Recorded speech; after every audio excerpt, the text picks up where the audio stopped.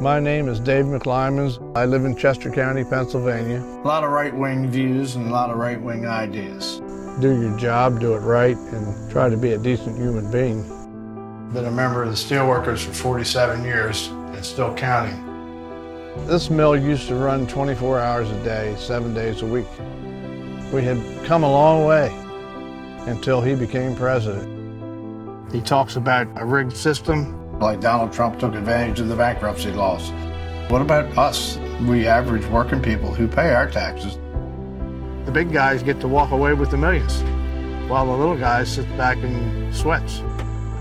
We can't afford four more years of Donald Trump, whether it be union or just the nation in general.